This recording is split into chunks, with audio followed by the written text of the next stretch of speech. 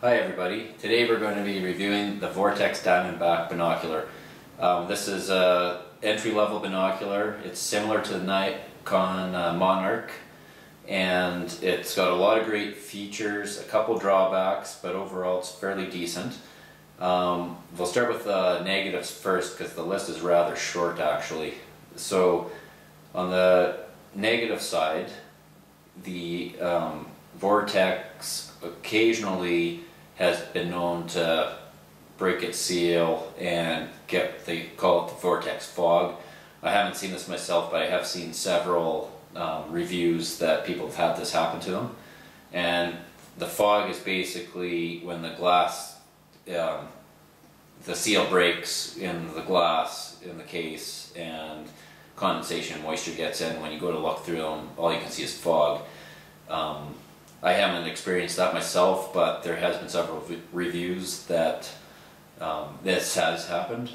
The second negative, and this may not be a big deal depending on what you're hunting, is at dusk and dawn, um, sometimes it's not as bright as some of the higher end binoculars. But that being said, for this price point in the entry level, it's only $200 or approximately.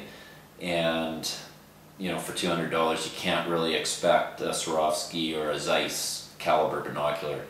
Now, for the plus um, side of this, these have like a rubberized coating to hold on to. They feel really good in your hands.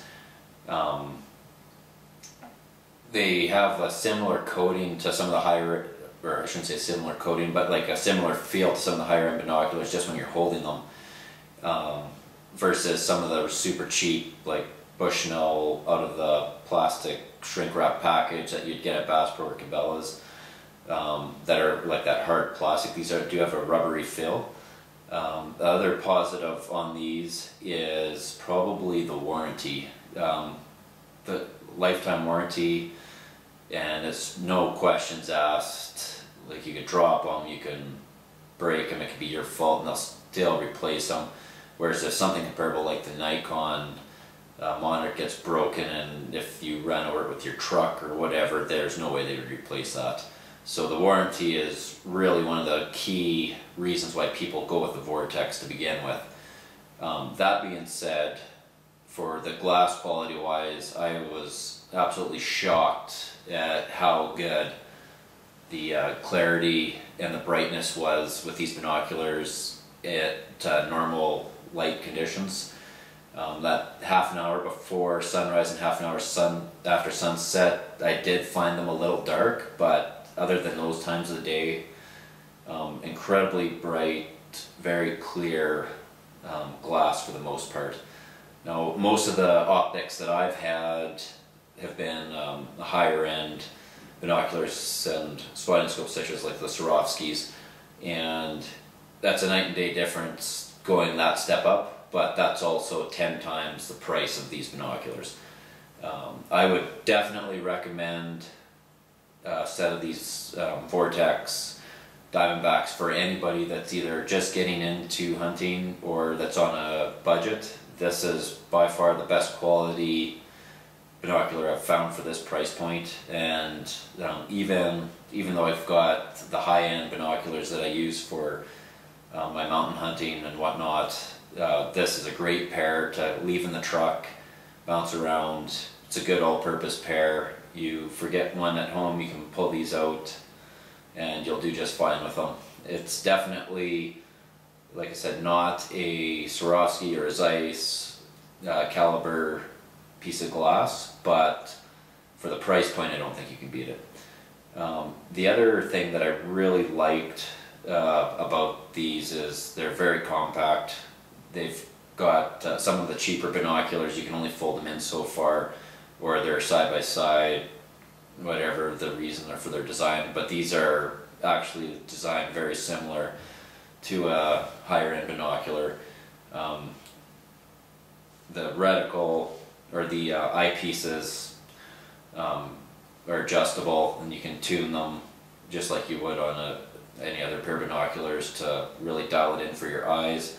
This pair is only an 8 by 42 Um, I think this is a pretty good, um, for myself anyways, it's a pretty good power to uh, objective lens. It doesn't uh, weigh a whole ton um, versus some sometimes guys get the bigger binoculars with a 50 mil objective lens or um, 10, 12 power binoculars for longer range binocular or longer range uh, glassing. But I found this 8 by 40 um, size is just about perfect for um, game like deer and sheep and elk and whatnot. And um, for sheep that I like to hunt, I use these to pick up movement and then I'll pull up my spotting scope to uh, really zoom in and see what I'm really looking at. But just for an all-purpose binocular, I don't think you can beat these for the price point,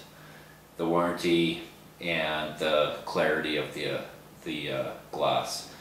Um, but yeah, you know, compared to the other lower end brands, um, I think the Nikon Monarch is probably a close second, if not equivalent for quality wise, but the Vortex edges it out in terms of you've got the warranty that uh, is pretty much unsurpassed, I think, in, in under any brand. And um, it definitely blows away the lower end Leupold in terms of quality and clarity, and it definitely um, definitely is more comparable to a higher end. Um, it's probably more comparable to a higher end brand, but their base model. Um, that's what I'm trying to get at. So, like a Zeiss Conquest line, maybe, or something to that effect. But overall, I'd give these a 5 out of 5 um, based on the being an entry level binocular.